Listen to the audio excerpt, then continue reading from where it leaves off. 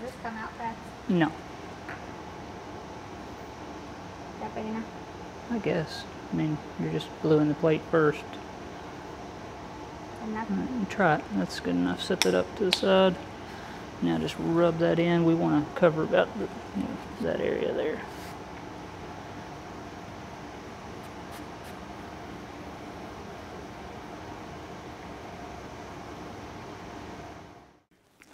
So I'd like to continue moving forward with the slow speed carbide lap build that we started last week. So we've got a box that's got an output shaft on it that's powered.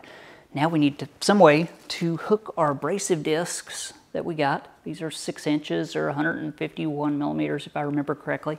Not real thick, but yet uh, not super flexible, but I think this needs some sort of backer. Something to attach this to that attaches to the output shaft on the grinder, something to reinforce it, right? So what I think that I'm gonna use, wow, it's thundering pretty good out there, is this half inch aluminum plate. So we'll lay out a six inch circle on this, we'll take it over to the lathe, we will trepan that circle out, and then there's a whole other list of things that we need to do to make that to where it will work with our grinder.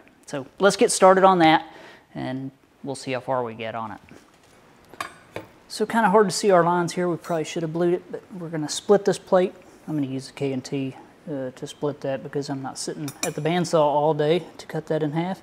And there's our disc that we want, slightly larger than six inch. We'll trim it, trim it down when we, to size when we actually trepan this out. But you get the idea. So let's go split this plate and we'll, you know, we'll cut off some of this excess stock.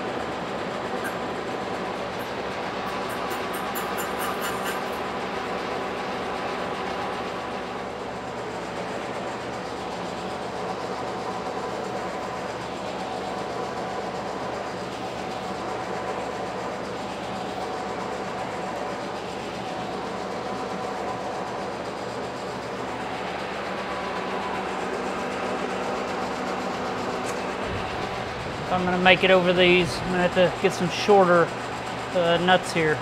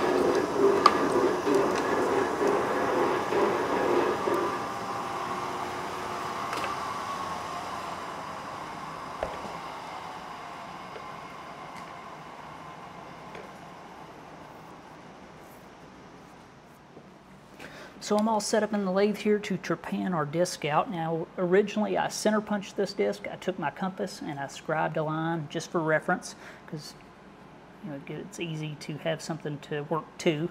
And then to square this disc up with the rotation of the lathe, my punch mark anyway, I put my Brown and Sharpe wiggler in the lathe. These are spring loaded with the sharp point and I set that down in the bottom of my punch mark.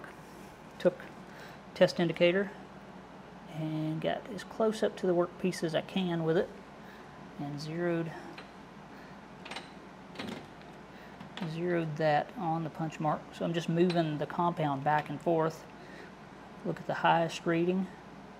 And as soon as it starts to drop off, I know that that is the peak. So we're going to zero it there.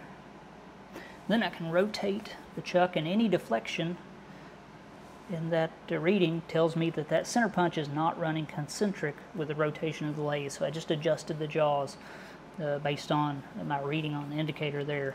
I've also got this plate set off of the face of the jaws about an eighth of an inch so I can cut all the way through with my trepanning tool. And I also checked the face to make sure I had you know, as close to zero run out as I can get there. I've got about five thousandths in this because this is extruded plate and that's about as close as it's going to get, which is fine, right? So there we go. We're all set up to, trepan out our disc. Let me show you the tool that we're going to use. Pretty, pretty neat. And uh, we'll cut that out.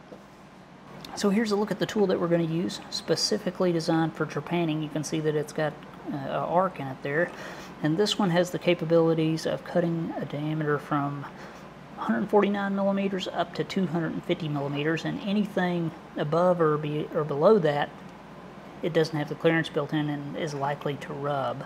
This is exactly the same, except for it is capable of cutting a smaller radius, means its geometry is a little different. Somebody's ground on this to make it cut a what looks like a, uh, a larger radius or a smaller radius, but you get the idea. This one will cut from 79 to 130 millimeters. Little carbide insert. This one's much more narrow than this one, but this one being what 149 millimeters is right below 6 inch, so we're right within the lower range of this uh, cutter here. So hopefully it will do the job. It'll be the first time I've ever used this. It was actually given to me by a viewer, both of these, sometime back, and you can see that it has some dovetails cut in it probably for some specific holder on a CNC machine. And to make it work in my holder here, I just had to put this in the shaper and clean up the bottom a little bit so it would fit. So this will be the first first go. So let's stick it in the lathe and, and give it a try. It should work just fine. So the first thing that we're going to do is center drill this plate. Then we're going to drill it 1964 which is right below 5 16ths and then we'll remove the remainder of the material with our 3115 reamer which is 5 tenths below 5 16 which is what that shaft measures on the grinder. So let's get started get the center hole and then we'll trepan out the uh, actual disc.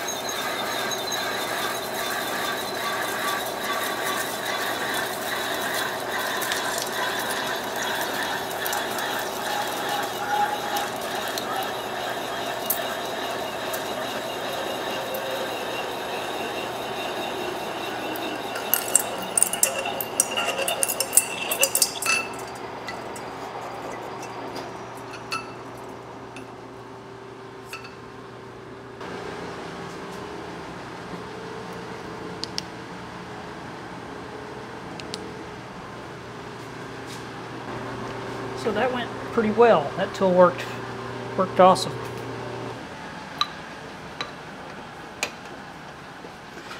It's almost like it was made for that.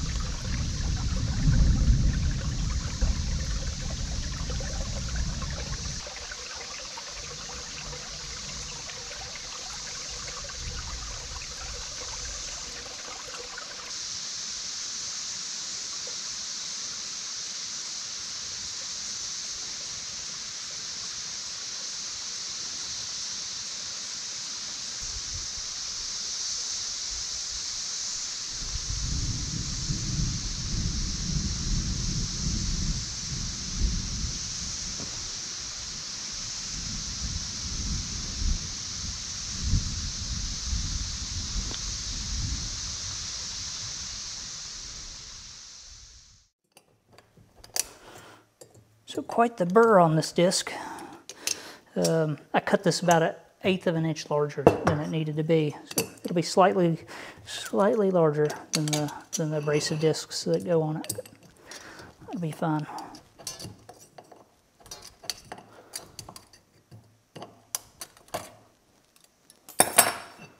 Really nice finish on that. Done a great job.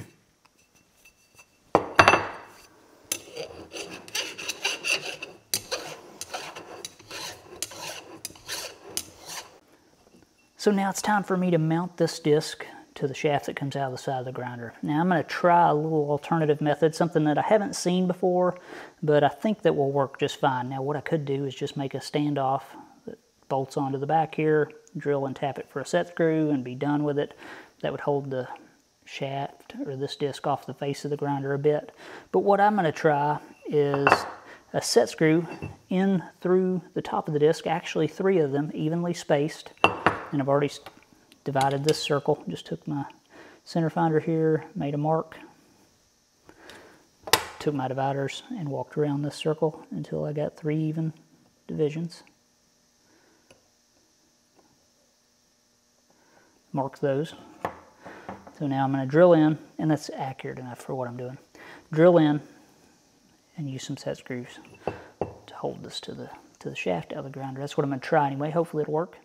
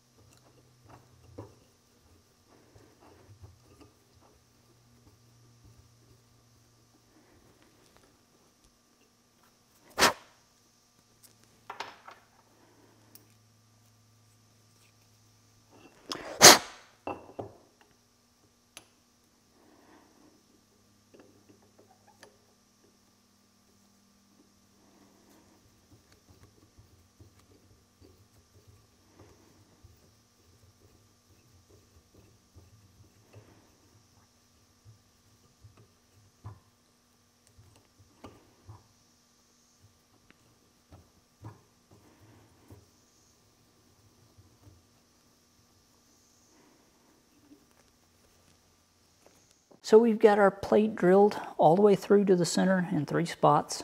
This drill is 135 thousandths. That's what we used. Then we come in and we drilled a portion, just probably half inch deep, with our tap drill for our 1032. Then come in and tap the hole. But obviously it's not tapped all the way through, so we can't screw that set screw all the way into it, presses on the shaft. So what I'm gonna use is a pusher rod. So this is an eighth inch piece of cold rolled. So it will be what actually put, pushes on the shaft and locks this disc in position. So we'll cut this to length. A section of that will be in the hole and the set screw will push on that and transfer it, you know, its energy into the shaft and hold it where it needs to be. That's the idea anyway. I think it'll work.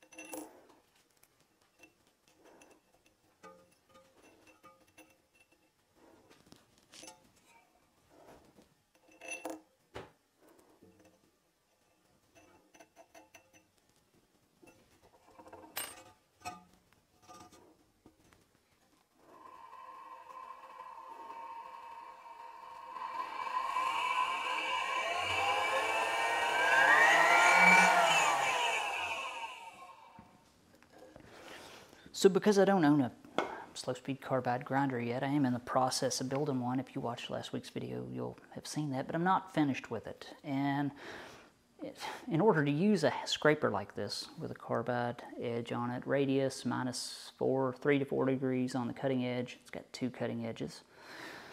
You pretty much have to have a slow speed lap of some sort to get a really nice edge on these. It's pretty tough to get with any other method than a slow speed lap really. But not having a sharp edge on one of these will work you to death. So you have to come up with something uh, to get that, get that edge to where it is sharp.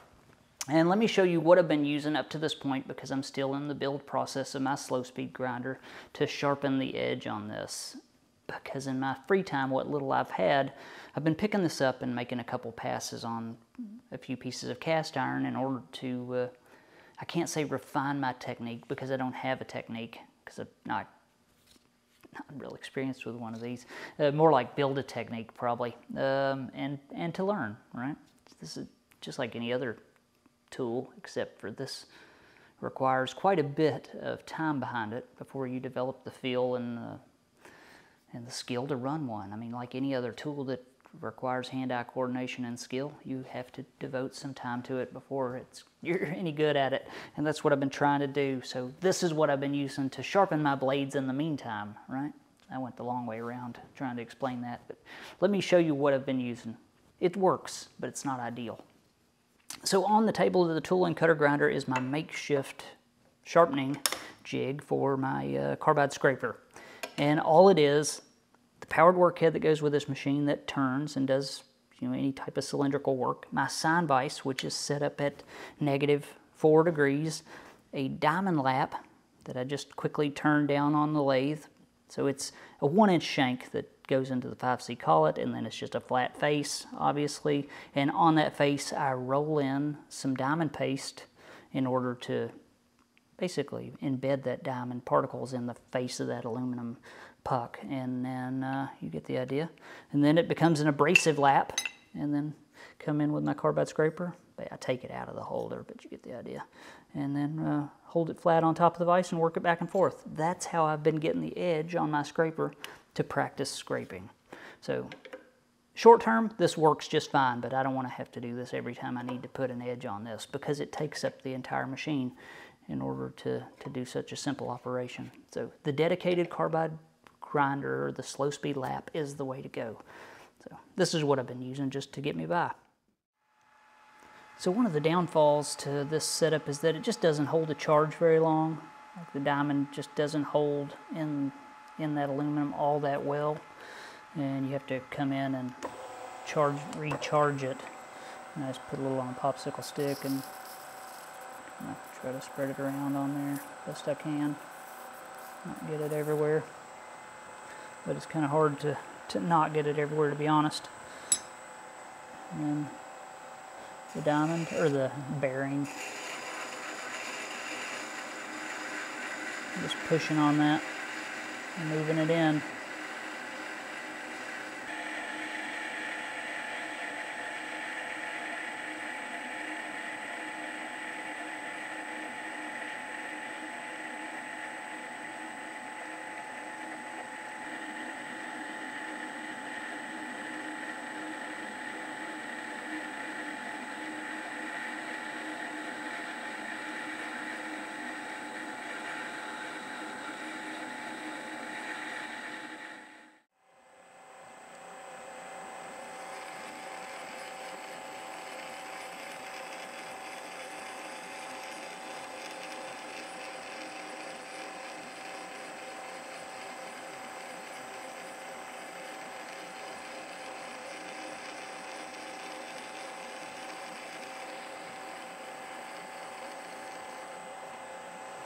So this absolutely works. It's just not ideal, right? Let me show you uh, the cutting edge on this.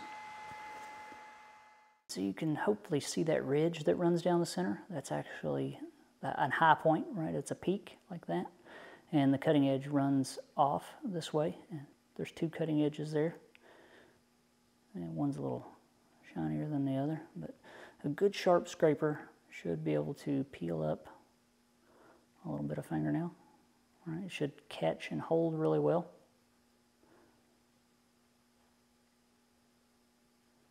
So there you go. That is my scraper blade and that is the edge that I'm trying to achieve. So I've been sitting here thinking about what is the best way to mount these discs to to the base plate. And I've seen several people use the rare earth magnets. These are some uh, inch and a half rare earths, a little big, but you get the idea. And all I would need to do is pocket this out to where this magnet sit just below the surface, black max super glue these in, and then I could just stick the disc right to that and it would probably be perfectly fine. And several people have mentioned that. So that's an option.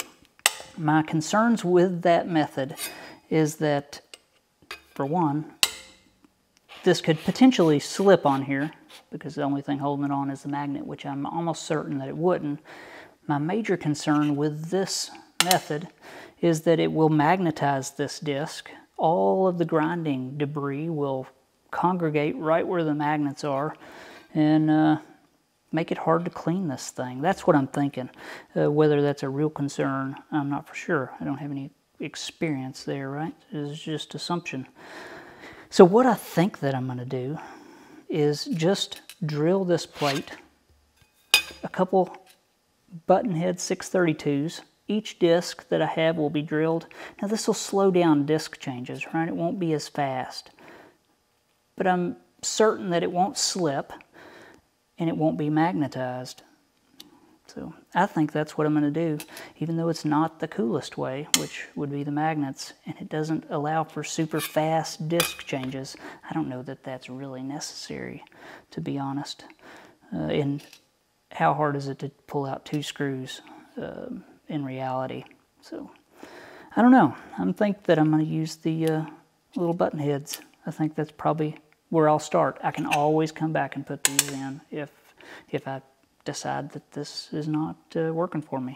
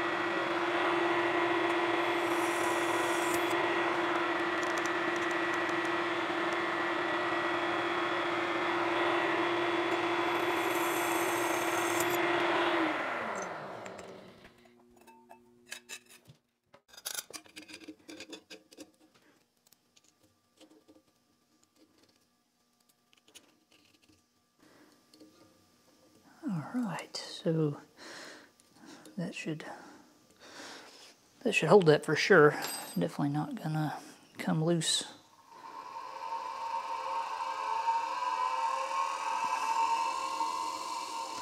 That disc is not a hundred percent flat. Maybe it's the platen because I never turned that flat. Maybe I should maybe I should do that, but not now, right? We're just seeing what works really. This is set to four degrees, so it's actually uh, just mimicking the platen that'll run all the way across the front of this disc.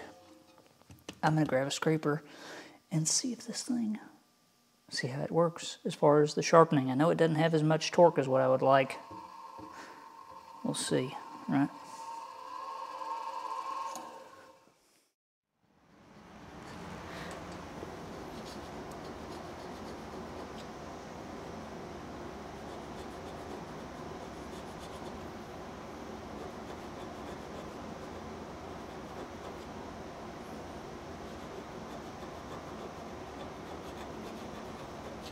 Harder. Flip it over, see if it cuts better.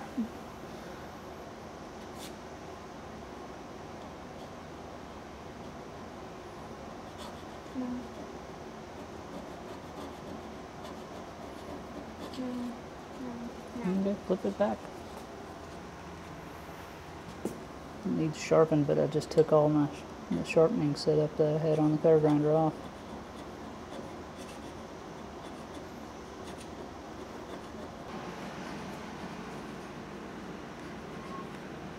I keep on wanting to wipe it. Don't wipe it. That's the, the blue is uh, what tells you where you need to go.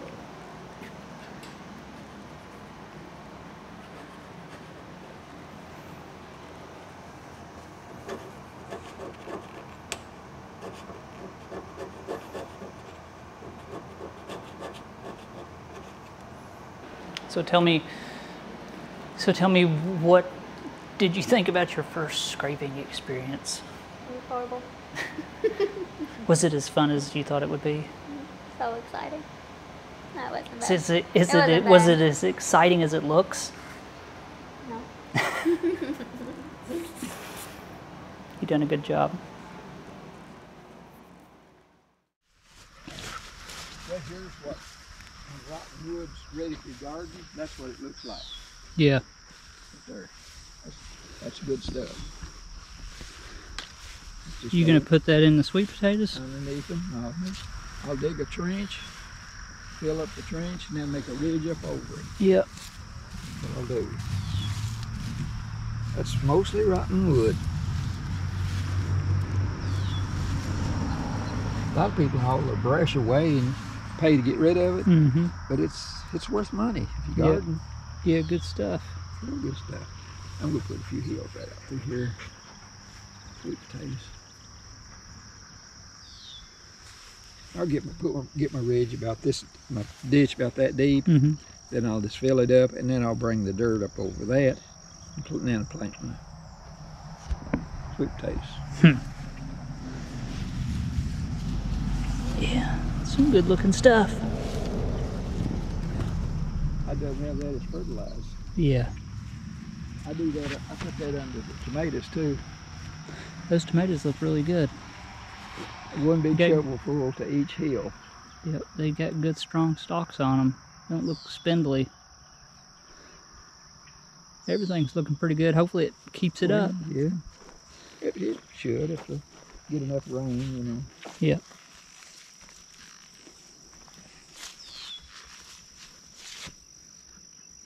We've been getting too much rain. Yeah, it's been might- wet. Kind of got a, a little bit of late start this year, and, and it's been pretty wet this early this summer or spring, really. But I like the late garden. I think it just does better. The weather settles down and Yeah, yeah, it's less uh, up and down. up and Tomatoes, they they like the hot, humid weather, don't they? like hot. They like hot weather. Same thing with tobacco. Yep.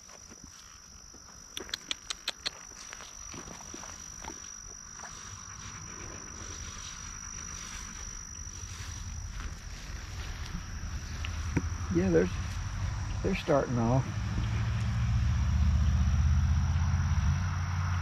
I'm gonna have to get my baskets and stakes and stuff out Yeah. Yeah. pretty soon now. Yeah. They'll get to where they start falling over if you don't.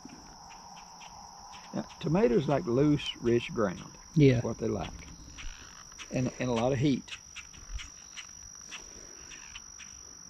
They like the same thing as tobacco. Yeah.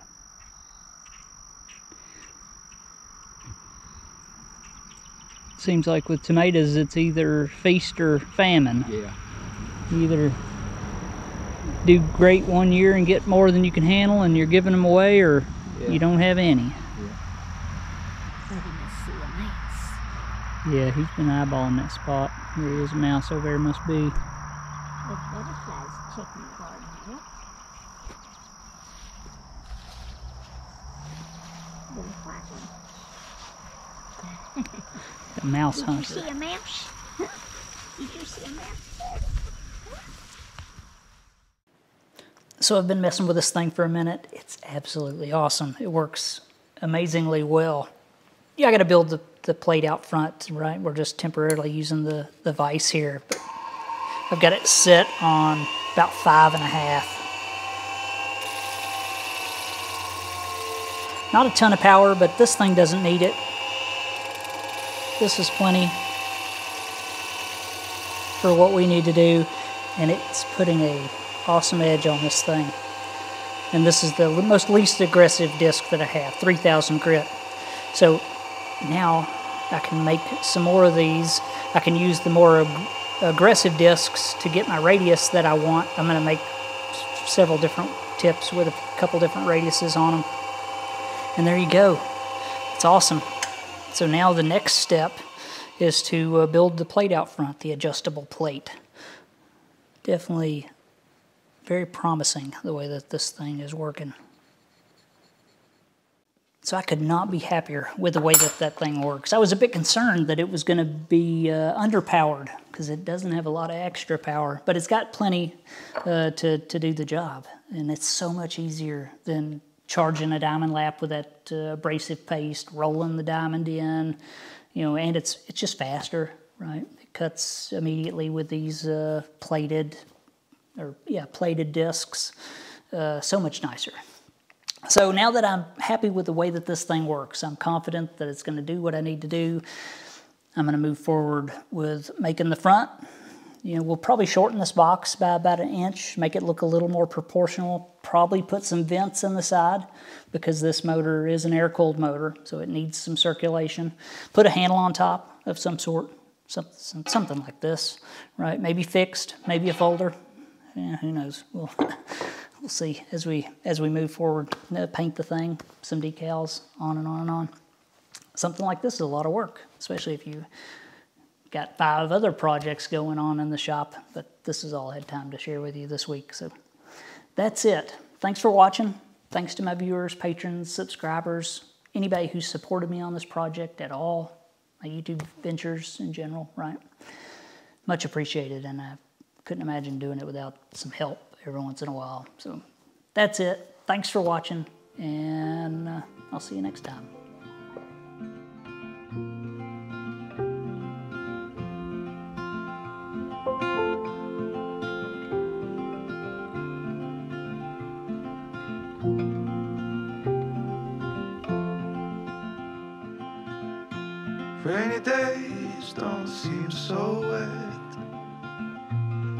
Stormy nights don't stay. From the moment that we met, you were worth the wait. Oh, this could be the best thing that I'll ever